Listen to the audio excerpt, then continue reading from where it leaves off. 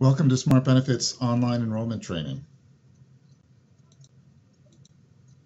During this brief video, we'll show you how to use Smart Benefits online enrollment from both an employee and employer's perspective. It's a four-step process. First, as the employer, you need to share your Smart Benefits organization code with new enrollees. You could do this, for example, uh, via a new employee orientation kit. Second, your new enrollee will use the organization code to submit their Smart Benefits enrollment request via their SmarTrip account. Third, you log into your Smart Benefits web application and approve or reject uh, each enrollment request. And then last, your enrollee will receive an email notification of your decision. If you approve a request, the SmarTrip card number for your employee is automatically added to your employee list with a proper kickoff date and a proper benefit category. And your enrollee can now access that information. They can see what benefit category they have. They can see the effective date of their enrollment via their Smart Benefits dashboard, which they can see through their Smart SmarTrip account. Next, I'm going to show you how to retrieve your organization code. I've already logged into our Smart Benefits test account here at WMATA. And uh, to retrieve your organization code, you would click on Account Admin and then Self-Service. And the code will be in the bottom left-hand uh, side of the screen. So in this case, this is our code right here. So let's assume I'm a new employee and I have my SmarTrip card. I've already registered to, to my SmarTrip account and I've uh, clicked on that card number to get to the card summary screen. And in the bottom right corner, as you can see, there's a Join Smart Benefits link. I'll click that link.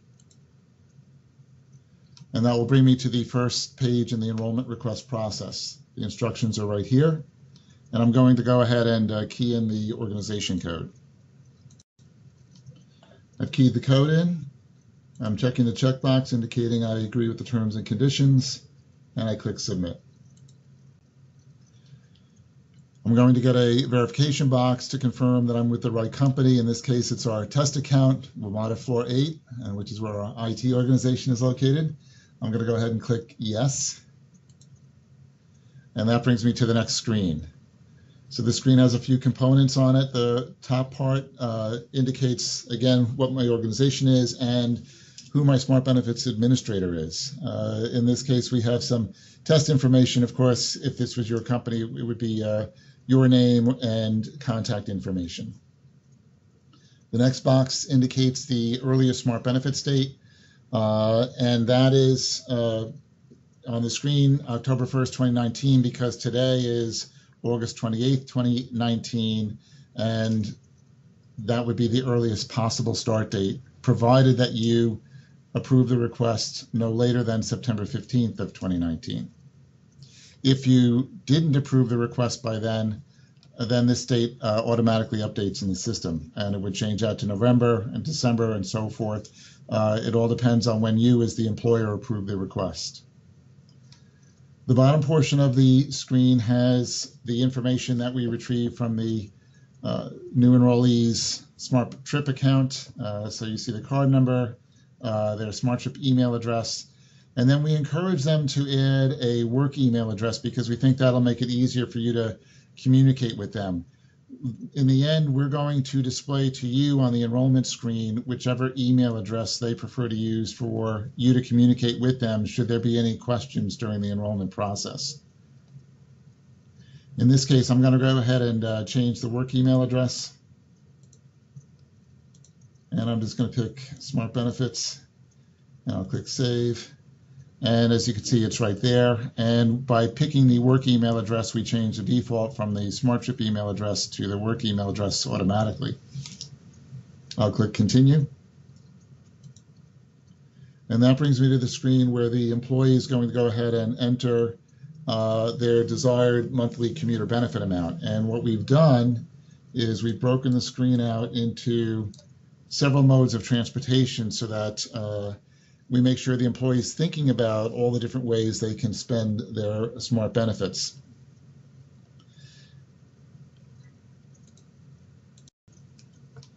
So in this case, I'm going to keep it simple. I'm going to put in that I want $205 in uh, Metro for Metro, and I want $85 for parking. For a total of $209. And uh, I'm sorry, $290. And we'll click uh, continue. So the next page uh, is matching my desired benefit to what benefit categories you've already established in your system. Uh, and since it didn't get a perfect match in this case, it's giving me the closest three categories uh, to my request. And again, since this is a test system, it's very limited, but uh, I do see one that's pretty close, option one, that has 200 in transit and 65 for metro parking. And I'm going to go ahead and pick that one. And once I do, the continue button lights up. I click continue. I get a confirmation box. Yes, my card number. Yes, that's the right email. Yes, that's the right benefit category for a total of $265 a month. I click confirm. And I get come to the final screen that says uh, my enrollment request has been submitted. Uh, it's been sent to my employer for review, and I'm going to receive an email notification once my employer acts on my request. I will also receive an email confirmation immediately that indicates that has this information in it uh, as well.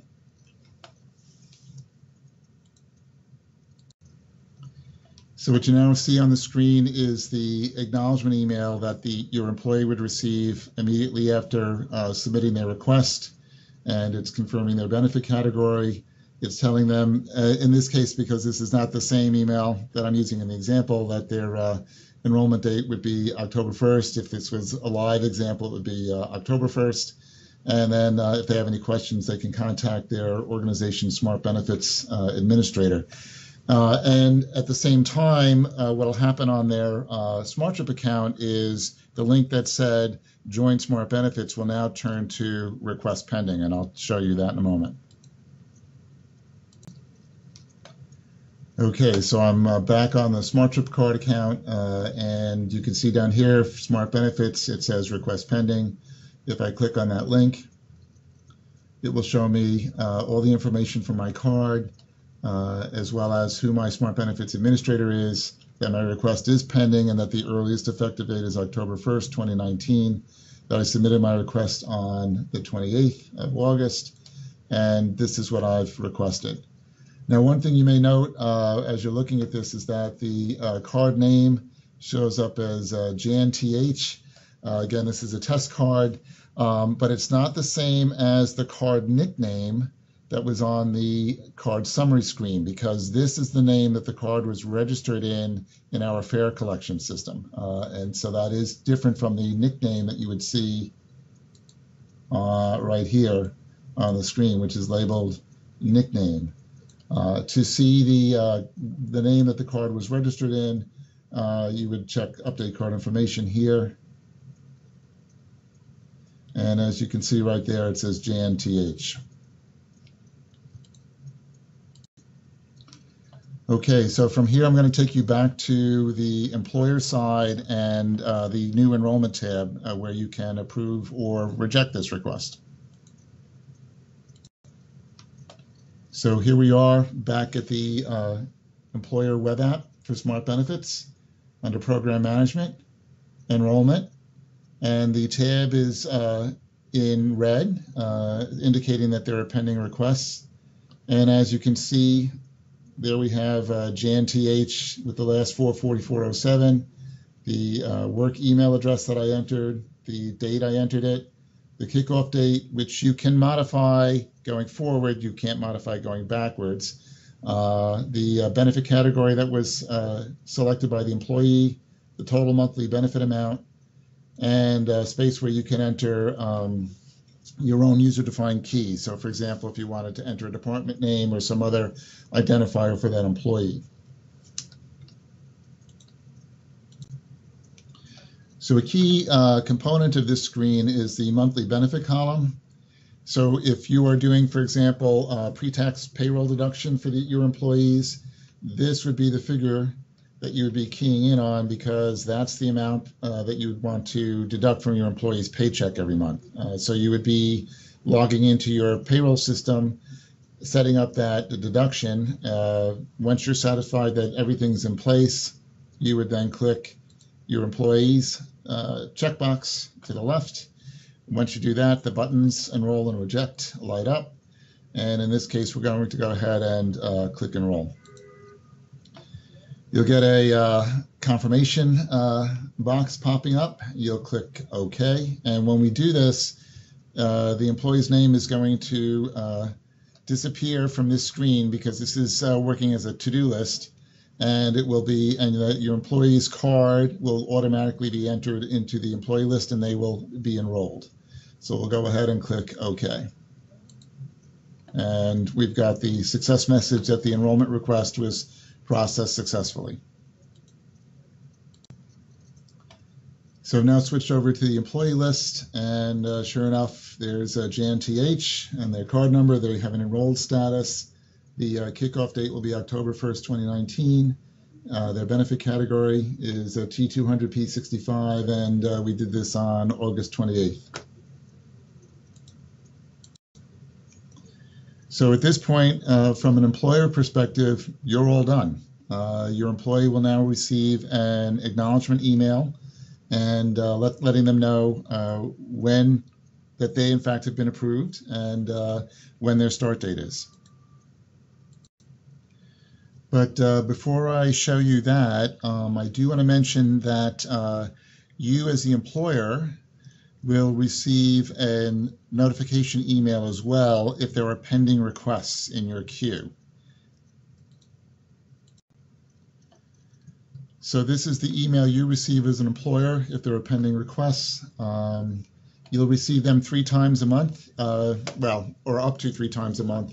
And uh, for most of you, uh, if you have an order deadline of the 15th of the month, you'll receive them on the 5th, the 10th, and the 15th, but only if there are pending requests. If there are no pending requests, there's no notification email. If you do get it, though, this is your trigger to uh, look in the system and uh, verify uh, or check out the request and act on it. So for the next step, I'm going to uh, take you back to the SmarTrip uh, account for the employee and uh, show you how things look now that you've approved their request. Okay, so here we are back uh, to the card summary page for the employee SmarTrip card. And you can see down here in the Smart Benefits section where it previously said request pending, it now says manage Smart Benefits. That means they're enrolled, but it doesn't necessarily mean that they've uh, started uh, receiving benefits yet, and I'll touch on that in a moment. Um, this is our pop-up. Again, uh, they're agreeing to the terms and conditions. We'll say yes. And you can see again, here's the basic information for their SmarTrip card, the basic information regarding uh, their Smart Benefits Administrator. Um, they are enrolled, but the effective date of the enrollment is October 1st, 2019, as we've shown all the way along and uh, and that's when their benefits will start. And in this case, uh, once again, their upcoming monthly benefit is $265 total, 200 for transit, and $65 for parking. And so they're in the system, and they can start enjoying smart benefits starting on October 1st uh, in this particular case. Uh, I hope you found this video helpful. As always, if you have any questions, feel free to reach out to your Smart Benefits account executive. Have a great day.